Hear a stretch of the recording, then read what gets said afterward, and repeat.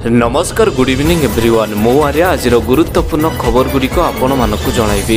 ନ୍ୟୁଜ୍ଗୁଡ଼ିକ ଭଲ ଲାଗିଲେ ନିଶ୍ଚିତ ଭାବରେ ଗୋଟିଏ ଲାଇକ୍ କରି ଚ୍ୟାନେଲକୁ ସବସ୍କ୍ରାଇବ୍ କରିଦେବେ।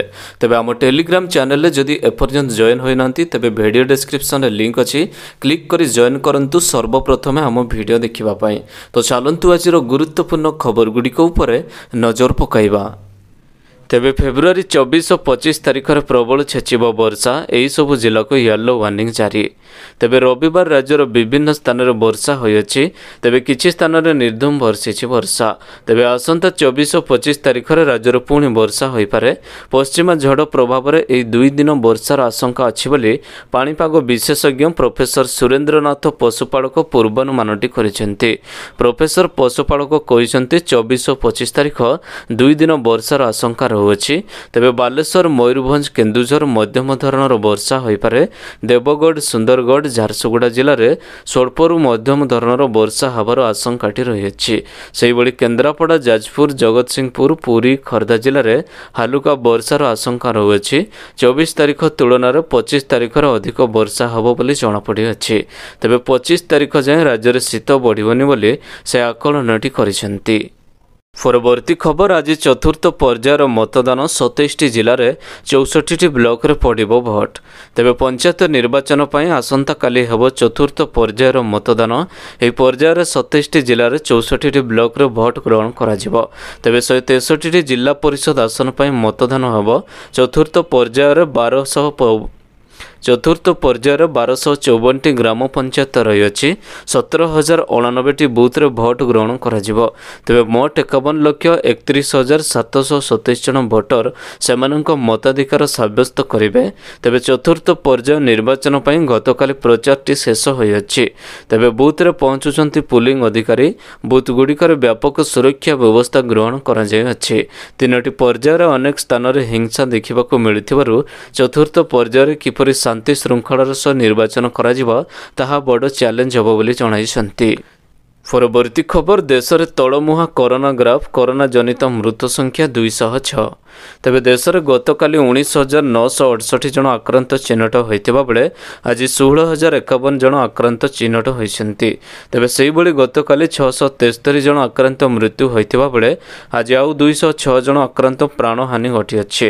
ତେବେ ଏହି ନୂତନ ମାମଲା ଚିହ୍ନଟ ପରେ ଦେଶରେ କରୋନା ସଂକ୍ରମିତ ସମୁଦାୟ ମାମଲା ଚାରି କୋଟି ଅଠେଇଶ ଲକ୍ଷ ଅଠତିରିଶ ହଜାର ପାଞ୍ଚଶହ ଚବିଶକୁ ପାଇଅଛି। ତେବେ ବର୍ତ୍ତମାନ ପର୍ଯ୍ୟନ୍ତ ପାଞ୍ଚ ଲକ୍ଷ ବାର ହଜାର ଶହେ ନଅ ଲୋକ ଏହି ମହାମାରୀ ଯୋଗୁଁ ପ୍ରାଣ ହରାଇଛନ୍ତି। ତେବେ ଗତ ଚବିଶ ଘଣ୍ଟାରେ ସଇଁତିରିଶ ହଜାର ନଅଶହ ଏକ ଜଣ ସୁସ୍ଥ ହୋଇ ଘରକୁ ଫେରିଛନ୍ତି। ତେବେ ଏପର୍ଯ୍ୟନ୍ତ ଚାରି କୋଟି ଏକୋଇଶ ଲକ୍ଷ ଚବିଶ ହଜାର ଦୁଇଶହ ଚଉରାଶୀ ଜଣ ଲୋକ ଆରୋଗ୍ୟ ଲାଭ କରିଛନ୍ତି। ତେବେ ସକ୍ରିୟ ଆକ୍ରାନ୍ତଙ୍କ ସଂଖ୍ୟା ବର୍ତ୍ତମାନ ଦୁଇ ଲକ୍ଷ ଦୁଇ ହଜାର ଶହେ ଏକତିରିଶକୁ ବୃଦ୍ଧି ପାଇଅଛି। ପରବର୍ତ୍ତୀ ଖବର ଆଗାମୀ ତେଇଶ ତାରିଖ ଯାଏଁ ରାଜ୍ୟରେ ପାଗ ମୁଖ୍ୟତଃ ଶୁଖିଲା ରହିବ। ଚବିଶ ତାରିଖରୁ ଓଡ଼ିଶାର ପ୍ରଭାବ ଦେଖାଇବ ପଶ୍ଚିମା ଝଡ଼। ତେବେ ରାଜ୍ୟରେ ଗତ ଦୁଇ ଦିନ ଧରି ସ୍ଥାନେ ସ୍ଥାନେ ହାଲୁକା ବର୍ଷା ଲାଗି ରହିଅଛି। ତେବେ ଆଗାମୀ ତେଇଶ ତାରିଖ ଯାଏଁ ରାଜ୍ୟରେ ପାଗ ମୁଖ୍ୟତଃ ଶୁଖିଲା ପାଗ ରହିବ। ତେବେ ଚବିଶରୁ ପୁଣି ଓଡ଼ିଶାର ପଶ୍ଚିମା ଝଡ଼ ଦେଖାଇବ। ତେବେ ପ୍ରଭାବରେ ରାଜ୍ୟରେ ପୁଣି ବର୍ଷା ହେବାର ସମ୍ଭାବନାଟି ରହିଅଛି। ତେବେ ଉପକୂଳରୁ ଦକ୍ଷିଣ ଅଭ୍ୟନ୍ତରୀଣ ଓଡ଼ିଶାର ରାତ୍ରିର ତାପମାତ୍ରାରେ ବିଶେଷ ପରିବର୍ତ୍ତନର ସମ୍ଭାବନା କ୍ଷଣ ରହିଅଛି। ତେବେ ଉତ୍ତର ଅଭ୍ୟନ୍ତରୀଣ ଓଡ଼ିଶାର ଆସନ୍ତା ଚବିଶ ଘଣ୍ଟାରେ ତିନିରୁ ଚାରି ଡିଗ୍ରୀ ଖସିଯିବ ରାତିର ତାପମାତ୍ରା। ଏହାପରେ ଦୁଇରୁ ତିନି ଡିଗ୍ରୀ ପର୍ଯ୍ୟନ୍ତ ପର୍ଯ୍ୟନ୍ତ ତିନିରୁ ଚାରି ଡିଗ୍ରୀ ଯାଏଁ ତାପମାତ୍ରା ବୃଦ୍ଧି ପାଇବ। ତେବେ ପଶ୍ଚିମା ଝଡ଼ ସହ ଜଡ଼ିତ ମେଘଖଣ୍ଡ ପଶ୍ଚିମରୁ ପୂର୍ବକୁ ଗତି କରିବା ସହ ଅଭ୍ୟନ୍ତରୀଣରୁ ଉପକୂଳ ଓଡ଼ିଶାର କିଛି କିଛି ସ୍ଥାନରେ ଗତକାଲି ବର୍ଷା ଅନୁଭୂତ ହୋଇଅଛି। ପରବର୍ତ୍ତୀ ଖବର ଅଦିନିଆ ବର୍ଷାରେ ଉବୁଟୁବୁ ହୋଇଗଲା ସ୍ମାର୍ଟ ସିଟି ସ୍ମାର୍ଟ ଜନପଥରେ କୃତ୍ରିମ ବନ୍ୟା। ତେବେ ଗତକାଲି ଅପରାହ୍ନରେ ରାଜଧାନୀ ଭୁବନେଶ୍ୱରରେ ହାଲୁକା ବର୍ଷା ଅନୁଭୂତ ହୋଇଥିଲା। ତେବେ ଅଦିନିଆ ଅସହାୟ ବର୍ଷା କିଛି ସମୟ ଧରି ରାଜଧାନୀରେ ଅନେକ ସ୍ଥାନରେ ବର୍ଷା ଜଳ ଜମି ରହିଥିଲା। ତେବେ ସ୍ମାର୍ଟ ଜନପଥ ଏବଂ ଇସ୍କନ ମନ୍ଦିର ରାସ୍ତା ଜଳାଶୟର ଭ୍ରମ ସୃଷ୍ଟି ହୋଇଥିଲା। ତେବେ ପାଣିପାଗ ବିଜ୍ଞାନ କେନ୍ଦ୍ର ଭୁବନେଶ୍ୱର ପକ୍ଷରୁ ମିଳିଥିବା ସୂଚନା ମୁତାବକ ମାତ୍ର କୋଡ଼ିଏ ମିନିଟ୍ ଅବଧି ଭିତରେ ହୋଇଥିବା ବତିଶ ପଏଣ୍ଟ ଦୁଇ ମିଲିମିଟର ବର୍ଷାର ରାଜଧାନୀରେ କୃତ୍ରିମ ବନ୍ୟା ସୃଷ୍ଟି ହୋଇଥିଲା।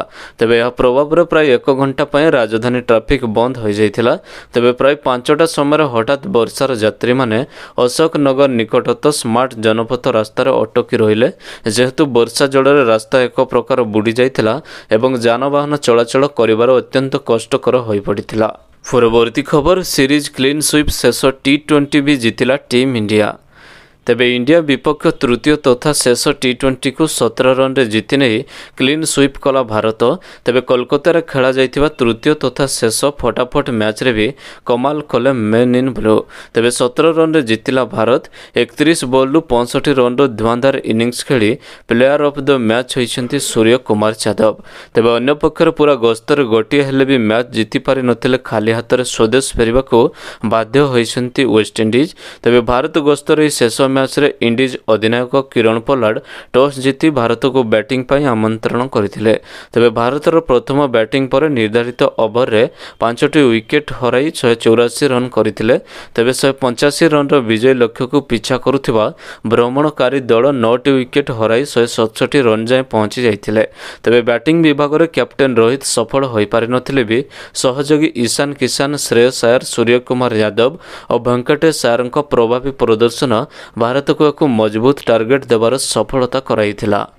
ପରବର୍ତ୍ତୀ ଖବର ଦେଶରେ ଚବିଶ ଘଣ୍ଟାରେ ବାହାରିଲେ ଷୋହଳ ହଜାରରୁ ଅଧିକ କରୋନା ପଜିଟିଭ୍ ଦୁଇଶହ ଛଅ ଜଣଙ୍କର ମୃତ୍ୟୁ ତେବେ କମୁଛି କରୋନା ଗ୍ରାଫ ଦେଶରେ କମୁଛି ସଂକ୍ରମଣ। ଏବେ କରୋନା ସଂକ୍ରମଣ ପୁଣି ହୁ ହୁ ହୋଇ ବଢ଼ିବାର ଆରମ୍ଭ କରିଅଛି। ତେବେ ମୃତ୍ୟୁ ସଂଖ୍ୟା କିନ୍ତୁ ବ୍ରେକ୍ ଲାଗୁନାହିଁ ତେବେ ଚାରି ଲକ୍ଷ ଟ୍ରେଣ୍ଡ ପରେ ଦୈନିକ ଆକ୍ରାନ୍ତ ସଂଖ୍ୟା ଦୁଇ ଲକ୍ଷ ଓ ପରେ ପଚାଶ ହଜାର ତଳକୁ ଖସିଅଛି।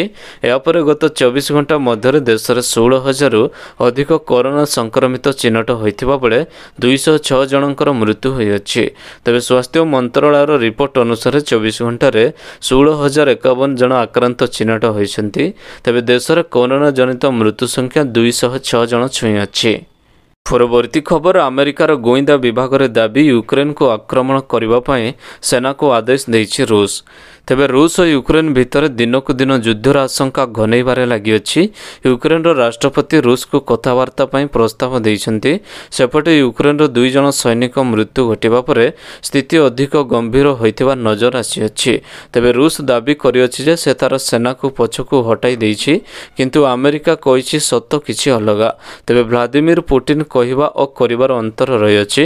ତେବେ ଆମେରିକାର ଗୁଇନ୍ଦା ଏଜେନ୍ସିର ରିପୋର୍ଟ କୁହାଯାଇଅଛି କି ରୁଷ ନିଜ ସେନାକୁ ଯୁଦ୍ଧ କରିବା ପାଇଁ ଆଦେଶ ଦେଇଅଛି। ପରବର୍ତ୍ତୀ ଖବର ହଟିଲା କଟକଣା ଏଣିକି ବିନା କୋଭିଡ୍ ଟିକା ପ୍ରମାଣପତ୍ରରେ ଶ୍ରୀଜୀଉଙ୍କୁ କରିପାରିବେ ଦର୍ଶନ। ତେବେ ଶ୍ରୀଜୀଉଙ୍କୁ ଦର୍ଶନ ପାଇଁ କୋଭିଡ୍ କଟକଣା ହଟିଅଛି। ତେବେ ଶ୍ରୀମନ୍ଦିରର ପ୍ରବେଶ ପାଇଁ ଭକ୍ତଙ୍କୁ ଆଉ ଦେଖାଇବାକୁ ପଡ଼ିବନି କୋଭିଡ୍ ଟିକାର ପ୍ରମାଣପତ୍ର। ତେବେ ଏଥିସହ ଶ୍ରଦ୍ଧାଳୁଙ୍କୁ କିସ୍କର ଧାଡ଼ିରେ ମଧ୍ୟ ଛିଡ଼ା ହେବାକୁ ପଡ଼ିବ ନାହିଁ। ତେବେ ମନ୍ଦିର ପ୍ରବେଶର କଟକଣାକୁ ହଟାଇ ଦିଆଯାଇଅଛି। ନୀତି ସବ କମିଟି ଓ ଛତିଶା ନିଯୋଗ ବୈଠକରେ ନିଷ୍ପତ୍ତି ପରେ ଶ୍ରୀମନ୍ଦିର ପାଇଁ ଏହି ନୂଆ ମାର୍ଗଦର୍ଶିକାଟି ଜାରି ହୋଇଅଛି। ତେବେ ବିନା କଟକଣାରେ ଭକ୍ତମାନେ ସକାଳ ଛଅଟାରୁ ରାତି ନଅଟା ପର୍ଯ୍ୟନ୍ତ ଶ୍ରୀଜୀଉଙ୍କୁ ଦର୍ଶନ କରିପାରିବେ। ତେବେ ପୂର୍ବ ଭଳି ଭକ୍ତମାନେ ପୂର୍ବ ଦ୍ୱାରରୁ ପ୍ରବେଶ କରି ଦକ୍ଷିଣ ଦ୍ୱାରରୁ ପ୍ରସ୍ଥାନ ବ୍ୟବସ୍ଥା ରହିଅଛି। ତେବେ ବରିଷ୍ଠ ନାଗରିକ ଲାଗି ସ୍ୱତନ୍ତ୍ର ଧାଡ଼ିର ବ୍ୟବସ୍ଥା କରାଯାଉଅଛି। ପରବର୍ତ୍ତୀ ଖବର ଜାଣନ୍ତୁ କେତେ ରହିଛି ଆଜିର ପେଟ୍ରୋଲ ଏବଂ ଡିଜେଲର ଦାମ। ତେବେ ସେହିପରି ଦେଶର ପ୍ରମୁଖ ସହରରେ ବି ପେଟ୍ରୋଲ ଓ ଡିଜେଲର ଦର ସ୍ଥିତି ରହିଅଛି। ଦିଲ୍ଲୀର ପେଟ୍ରୋଲ ଲିଟର ପିଛା ପଞ୍ଚାନବେ ଟଙ୍କା ଅଠଚାଳିଶ ପଇସା ଡିଜେଲର ଦର ଛୟାଅଶୀ ଟଙ୍କା ସତଷଠି ପଇସା ହୋଇଅଛି। ମୁମ୍ବାଇରେ ପେଟ୍ରୋଲର ଲିଟର ପିଛା ଶହେ ନଅ ଟଙ୍କା ଅଠାନବେ ପଇସା ହୋଇଥିବା ବେଳେ ଡିଜେଲର ଲିଟର ପିଛା ଚଉରାନବେ ଟଙ୍କା ଚଉଦ ପଇସା ରହିଅଛି। ସେହିପରି କୋଲକାତାରେ ପେଟ୍ରୋଲ ଦର ଶହେ ଚାରି ଟଙ୍କା ସତଷଠି ପଇସା ଥିବାବେଳେ ଡିଜେଲ ଦର ଅଣାନବେ ଟଙ୍କା ଟଙ୍କା ଅଣାଅଶୀ ପଇସା ରହିଅଛି। ଚେନ୍ନାଇରେ ପେଟ୍ରୋଲ ଦର ଶହେ ଏକ ଟଙ୍କା ଚାଳିଶ ପଇସା ଥିବାବେଳେ ଡିଜେଲର ଦାମ ଏକାନବେ ଟଙ୍କା ତେୟାଳିଶ ପଇସା ରହିଅଛି। ତେବେ ଆଜି ଭୁବନେଶ୍ୱରରେ ଡିଜେଲ ଦର ଏକାନବେ ଟଙ୍କା ବାଷଠି ପଇସା ଥିବାବେଳେ ପେଟ୍ରୋଲର ଦର ଶହେ ଏକ ଟଙ୍କା ଏକାଅଶୀ ପଇସା ରହିଅଛି। କେମିତି ଜାଣିବେ ଆପଣଙ୍କ ସହରର କେତେ ଅଛି ଦାମ? ତେବେ ପେଟ୍ରୋଲ ଏବଂ ଡିଜେଲର ଦାମ ଆପଣ ଏସ୍ ଏମ୍ ଏସ୍ ମାଧ୍ୟମରେ ମଧ୍ୟ ଜାଣିପାରିବେ। ତେବେ ଇଣ୍ଡିଆନ୍ ଅଏଲ୍ ୱେବସାଇଟ୍ ଅନୁଯାୟୀ ଆପଣଙ୍କୁ ନିଜ ସହରର କୋଡ୍ ଲେଖି ନଅ ଦୁଇ ଦୁଇ ଚାରି ନଅ ନଅ ଦୁଇ ଦୁଇ ଦୁଇ ଚାରି ନଅ ନମ୍ବରକୁ ପଠାଇବାକୁ ପଡ଼ିବ। ତେବେ ପ୍ରତି ସହରର କୋଡ଼୍ ଅଲଗା ଅଲଗା ରହିଥାଏ ଯାହା ଆପଣଙ୍କୁ ଆଇସିଏଲ୍ ୱେବସାଇଟ୍କୁ ମିଳିଯିବ। ତେବେ ପ୍ରତିଦିନ ଛଅଟା ବେଳେ ବଦଳିଯାଏ ମୂଲ୍ୟ। ତେବେ ସୂଚନା ମୁତାବକ ପ୍ରତ୍ୟେକ ଦିନ ସକାଳ ଛଅଟାରେ ପେଟ୍ରୋଲ ଏବଂ ଡିଜେଲର ଦାମର ପରିବର୍ତ୍ତନ ହୋଇଥାଏ। ତେବେ ଆଶା କରୁଛି ଆଜିର ଗୁରୁତ୍ୱପୂର୍ଣ୍ଣ ଖବରଗୁଡ଼ିକ ଆପଣମାନଙ୍କୁ ନିଶ୍ଚିତ ଭାବରେ ଭଲ ଲାଗିଥିବ। ଯଦି ଭଲ ଲାଗିଥାଏ ଭିଡ଼ିଓକୁ ଗୋଟେ ଲାଇକ୍ କରନ୍ତୁ ଏବଂ ଚ୍ୟାନେଲକୁ ସବସ୍କ୍ରାଇବ୍ କରିବା ପାଇଁ ବିଲକୁଲ ବି ଭୁଲନ୍ତୁ ନାହିଁ। ଆପଣଙ୍କ ଭଲ ପାଇବା ସରୁ ଭିଡ଼ିଓକୁ ସେୟାର କରିଦେବେ। ପୁଣି ଦେଖାହେବ ଲାଟେଷ୍ଟ ଅପଡ଼େଟ୍ରେ ସେତେବେଳେ ପର୍ଯ୍ୟନ୍ତ ବିଦାୟ ନେଉଛି। Vande Mataram take care ବାବାଇ